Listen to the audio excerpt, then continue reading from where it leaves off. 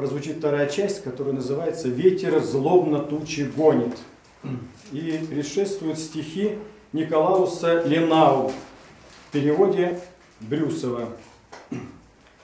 Ветер злобно тучи гонит, Плещет дождь среди воды.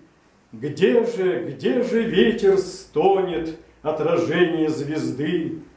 Пруд померкший не ответит, Глухо шепчут камыши, И твоя любовь не светит В глубине моей души.